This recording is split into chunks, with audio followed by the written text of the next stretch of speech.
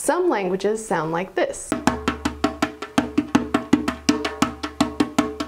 And other languages sound like this. Let's learn why.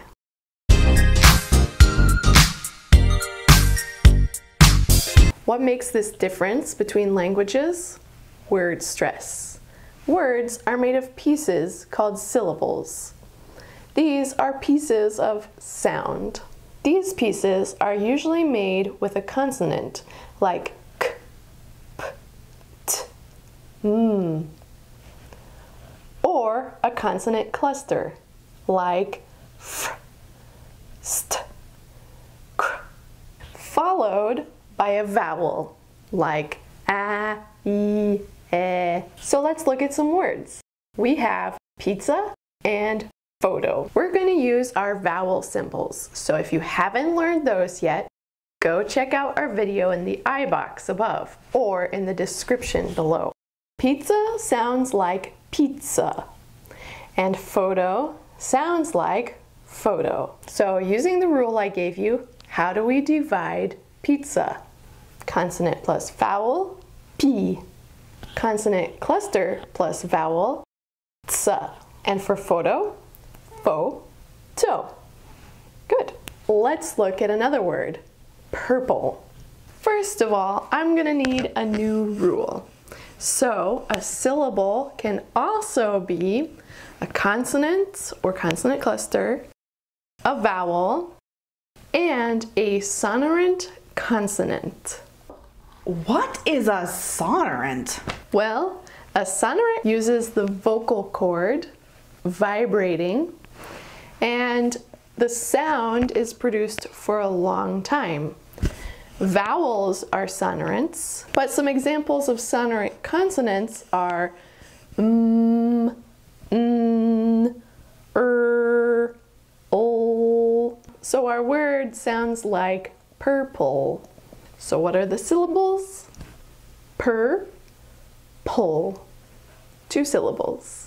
Okay, another word, yellow. It sounds like yellow. And I'm just gonna tell you the syllables. They are ye and low. Wait a second. What happened there? Our last rule would make it yell and o. Let's make our rule clearer. So far we have consonant plus a vowel plus a sonorant consonant. But if the next sound is a vowel, that sonorant consonant should move to the next syllable. That's going to make the second syllable sound a lot stronger. So notice the difference here with me. If the sonorant consonant stays on the first syllable, we have yell, o. But if it moves to the second consonant, you have more strength in that second consonant. Yellow, yellow. That's a good beginning to understanding syllables in English. It can get more complicated, so let's practice some easy words and some more complicated words. Try to separate these words and write your answers in the comments below. We'll let you know which ones you got right and how to fix the ones that you got wrong. Our words are Beijing, eliminate, bookcase, journey, triumph, owl, girl, birthday, Kashmir, and anti-disestablishmentarianism. On Friday this week, we will publish a bonus video, Syllables Masterclass. We'll explain the words from this list that are difficult and give you some new rules to add to your list. So now you know what a syllable is.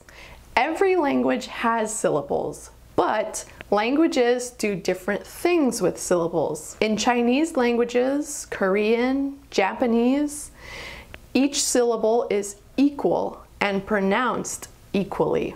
But in languages like English, German, Mongolian, not every syllable is equal. Some are more important, and some you almost don't hear at all. In English, our basic rule is you only stress one syllable in each word. Let's look at the word establishment. There are four syllables. Establishment. And one syllable is stronger than the others. We call this stress. But how to make stress? If you speak a language where the syllables are all equal, you might try to make the stronger syllable louder and longer. But this may make it sound like you're yelling. So in this word, sta is the stressed syllable.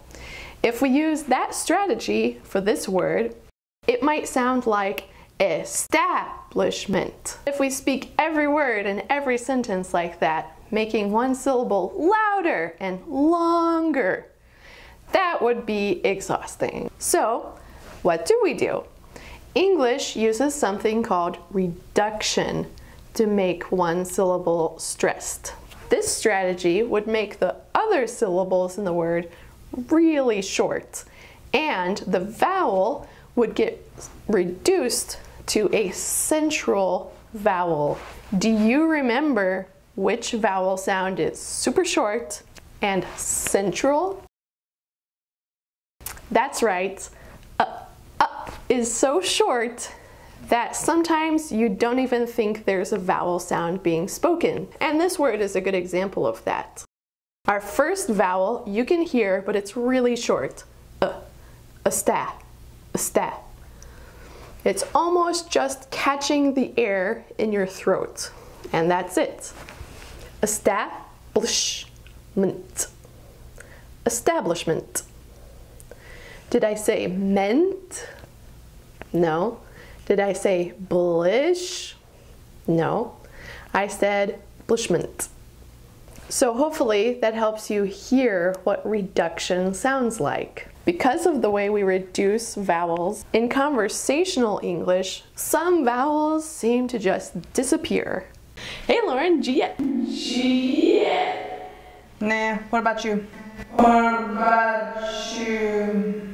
But turning every vowel in a weak syllable into a won't work. Here's the word plagiarize. Oh, let me do this one. Play jers. Yeah, that's not understandable. I don't know what Lauren is saying. So, sometimes we do have to pronounce the vowel sound in weak syllables, but just make it shorter. This is the case in the word plagiarize. So the word sounds like eyes. So the first syllable is stressed. It's pronounced normally. So the second two syllables are shorter and faster. You can still hear I in the third syllable, but it's not very long. Plagiarize.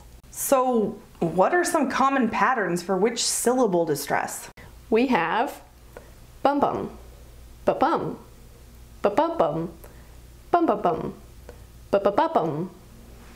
There are also rules to let you know which stress pattern to use in a word. We have a video telling you the five most common syllable stress rules. That's linked in the I box above right now and in the description box below. Stay tuned for our next pronunciation video where we'll talk about how word stress creates the rhythm for sentence stress. Did you like this video? Give us a thumbs up so we can make more videos. And don't forget to subscribe below so you can catch everything we're doing each week. Ring that bell so you know when there's a new video. And we'll see you in the classroom.